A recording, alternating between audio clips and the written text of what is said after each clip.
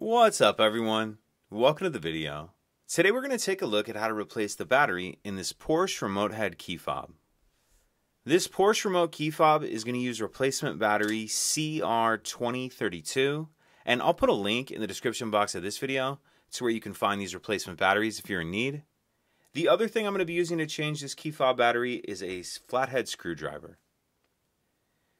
So the first thing we want to do is grab our key fob we're going to hold it with the buttons facing up.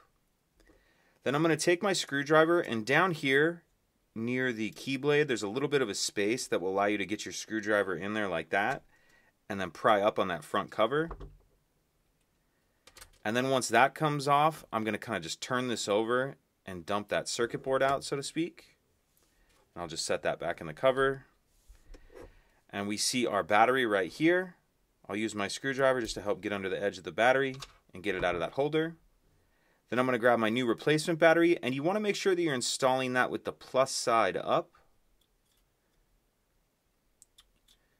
So then I'll kind of tuck that edge in first like that, snap it down into place, and then we'll snap this front cover back on. Make sure that's all the way snapped down, and that's it.